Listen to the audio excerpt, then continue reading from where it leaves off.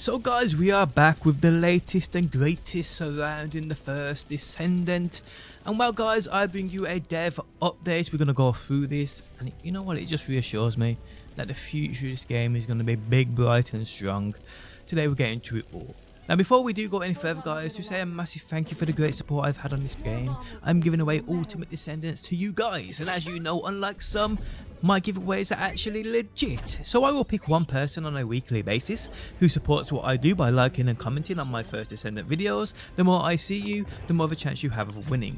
Winners will be picked and announced at the end of the week, which is today guys. So I will pick someone, well I'll go through the comments of my first Descendant videos today, and I'll pick them and announce them later on today in tonight's video.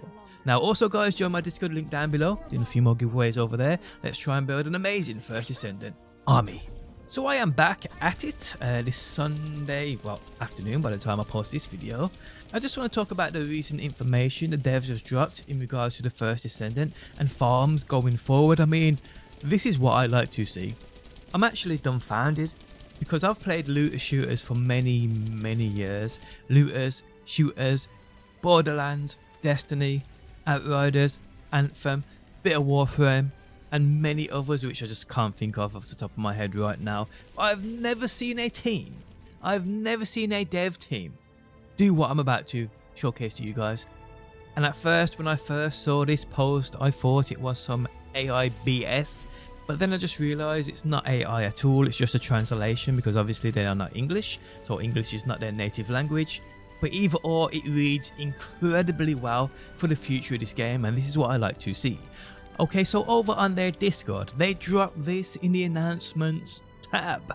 Dev Talk, director's comment regarding strategic outpost. Greetings, Descendant. This is the director of the first Descendant. I wish to share the dev's opinion regarding our recent issue, so called Valby Run. Now, if you don't know what a Valby Run is, it's a farm I posted a few days back now. It's basically a zone recon mission where you can farm infinite amounts of gold, infinite amounts of Kuiper shards, materials, modules, you name it, guys. And it's by far the best in the game. It's borderline OP on how quick you can earn this. If you've got a decent team with a few Valbys there, you can earn easily like 25,000 Kuiper shards every 3 minutes, over 300,000 without those gold buffs, 300,000 gold every 3 minutes, even more than that. And I thought, yep, this is definitely getting nerfed. I thought there's no way this is not going to get looked into and nerfed. But that's what this post is all about. So that's the Valby run. So this strategic outpost farming using Valby is what they state is currently taking place at the outpost within the fortress. Uh, this was certainly not intended they say. Due to the systematic mistake, mobs at the fortress outpost have been respawning infinitely. And as a result, the amount of item drops has increased two or three times higher than that of other popular locations. To maintain our game and to be adored by our players for a long time, we believe that it is wrong to just look on and leave the unbalanced content which is providing biased rewards. However, as Valby Run became popular very quickly within our community, we assume many players have researched Valby to enjoy the newly discovered content, i.e. this farm. What they're saying is people are going to quickly rush to research Valby so they can take advantage of this farm before it gets nerfed or whatever people's thinking may be. They go on to say the current issue has occurred clearly by our own mistakes, but we do not wish to suddenly remove it because it has already become a solid content for the first Descendant. So we would like to inform you that we are preparing a patch without completely blocking the Fortress Outpost issue and to keep allowing players to enjoy playing like before. However, at the same time, we will update other farming locations to match the efficiency equivalent to the Fortress Outpost.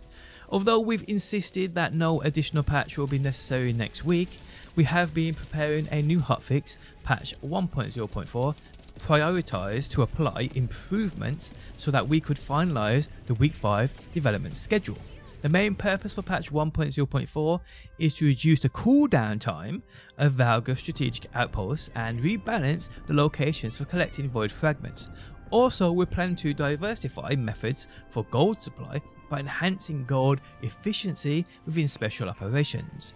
As we continue our live service for the first Descendant, we have no plan to respond by simply nerfing certain content for any gameplay which collides with our intentions. We respect every content created by our players and will do our best to create a game that all players can enjoy together for a long time. We appreciate your endless feedback and interest to our game and will endeavour to provide a better gaming environment that will fulfill your expectations. Thank you. So reading this, this is just a massive win in my opinion. It's so good to see a dev team a development studio not wanting to take away the player's fun, the fun that the player is having. I mean, it's a loot shooter after all. Grinding and farming is what we love to do. We will always seek out and hunt those best farming spots. And when those popular ones do become what we would say overpowered in regards to how much you can earn, if you have played other looter shooters, you're so used to these developers taking away or nerfing such farming experiences, farming spots.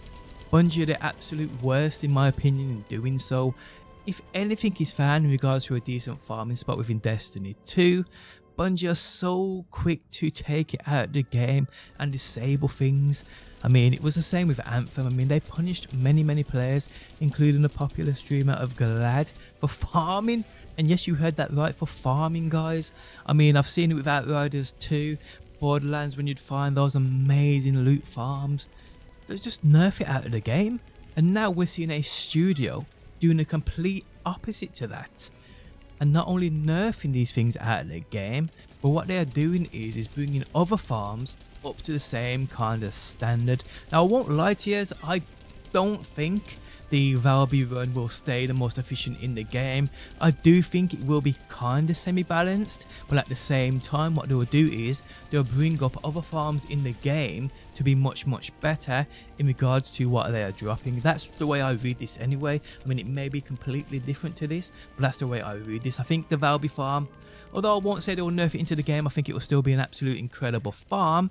What I think they will also do is kind of draw it in line and bring other farms up at the same time so not everybody is researching that Valby and everybody rushing to this farm. I think there are both other farms to a point of people finding these other farms where other characters and other descendants can also take advantage of them and earn equal amounts of gold, Kuiper shards, modules, weapons as what we are seeing within the Valby run. I think that is their plan, long-term goal and that's why we love to see people.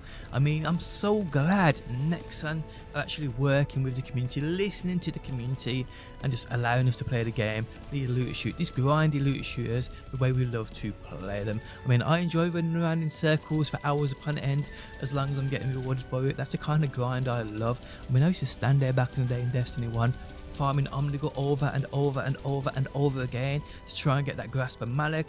Once you nerfed out the game, you guys remember the loot cave, the original loot cave in Destiny 1, where players would just stand there shooting for hours on end and a cave full of enemies to get those rare and legendary engrams. Some of the most fun I had, it's a kind of grind I love to do while just standing there shooting and farming the first Descendant is no different for me.